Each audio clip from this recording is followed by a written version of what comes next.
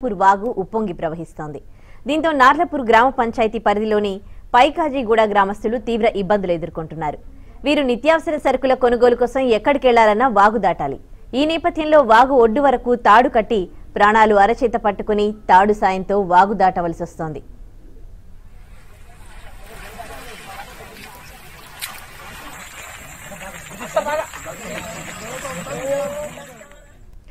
దీనికి తోడు గ్రామంలో మంచినీటి సౌకర్యం కూడా లేదు. డ్రైనేజీలు లేక రోడ్లన్నీ బురదమయంగా మారుతున్నాయి. తమ గ్రామానికి గుడి బడి సౌకర్యం కూడా లేదని గ్రామస్తులు వాపోతున్నారు. గతంలో ఎందరో ఎమ్మెల్యేలు తమను గెలిపిస్తే గ్రామానికి రోడ్డు సౌకర్యంతో పాటు వాగుపై వంతెన నిర్మిస్తామని హామీలిచ్చి తీరా గెలిచాక మొహం కూడా చూపించడం లేదని ఆవేదన వ్యక్తం చేస్తున్నారు.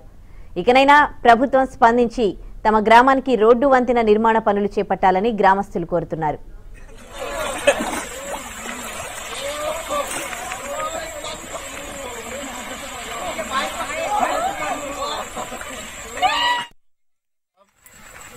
ఇది వరకు వంద సంవత్సరాలు అయింది. వంద సంవత్సరాల నుంచి ఇప్పటి వరకు ఎలాంటి అభివృద్ధి అనేది జరగడం లేదు.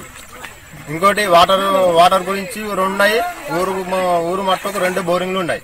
రెండు బోరింగ్లలో ఒక బోరింగే యూజ్ చేస్తాను అది ఆయన కూడా పోయి ఇప్పటికీ ఆ ఎనిమిది రోజులైంది. సర్పంచ్ చెప్పినాం సెక్రటరీ సార్కి చెప్పినాం.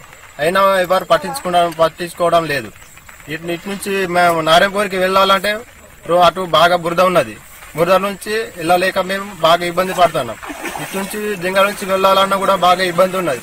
మాకు వంట సరుకులు తీసుకురావాలన్నా ఎటన్నా ఎమర్జెన్సీ పోవాలన్నా ఏమన్నా ఇబ్బంది వచ్చిన హాస్పిటల్ పోవాలన్నా కూడా బాగా ఇబ్బంది ఉన్నది. ఎలాంటి అభివృద్ధి లేదు. ఊర్లో కూడా మురికి కాలువలు లేవు సీసీ రోడ్లు లేవు. ఎలాంటి షాపులు కూడా ఊర్లో ఏం లేవు. ఏం లేకుండా బాగా ఇబ్బంది బాగా ఇబ్బంది పడుతున్నాం. కాబట్టి సెక్రటరీ సార్ కానీ సర్పంచ్ కానీ ఎంపీటీసీ కానీ జెడ్పీటీసీ కానీ ఎమ్మెల్యే కానీ ఎవ్వరు కూడా మా వారికి మా ఊరిని పట్టించుకోవడం లేదు. దుకాణం లేదు. ఇటు పోదామంటే పప్పు లేదు కారం లేదు ఏం లేదు. పండు కూడా లేదు ఈ రోజు మనకు. ఎటు పోతాం దుకాణం లేదు రోడ్డు లేదు రోగా ఇన్ని నీళ్ళ చుట్టూరు గడ్డ మీద ఉన్నాం. మాకు ఇన్ని సంవత్సరాలు ఆయే ఇంకా పది ప- పిడిలు అయిపోయాయి. ఏ సర్పంచ్ లేదు ఎమ్మెల్యే లేదు ఎవ్వరు లేదు ఎవ్వరు మా ఊరికి దిక్కే లేదు. అచ్చి చేస్తామన్న కానీ చేసే మనిషి అయితే ఎవ్వరు లేరు. ఈ పరిస్థితిలో ఇట్లా పడి ఉన్నాం. అయితే వాళ్ళ ఓట్లప్పుడు వస్తారు.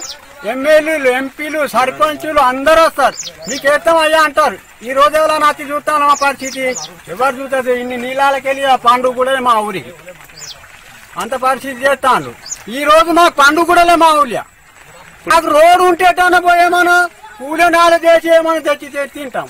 రోడ్డు దిక్కులే నాలుగు ఐదు కిలోమీటర్ ఇప్పుడు వాళ్ళ ఇంత. ఇవాళ పండుగ కూడా లేదు అది పోయటానికి వసతి లేదు.